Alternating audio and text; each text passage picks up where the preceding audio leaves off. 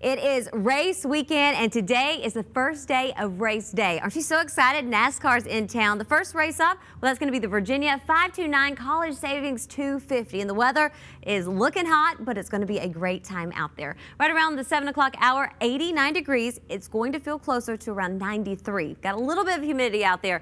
Heading on into a 10 o'clock, 83. Now, notice we could see a light chance for some showers and thunderstorms. Don't let that worry you. We're only going to see a few here and there, and actually looking looking at the raceway, they're looking to be on the clearer side of things. As far as your winds, they're going to be of the southwest at 5 to 10 miles per hour. Make sure you stay hydrated, have fun, and of course, stay safe. I'm CBS 6 meteorologist Nikki-Dee Ray.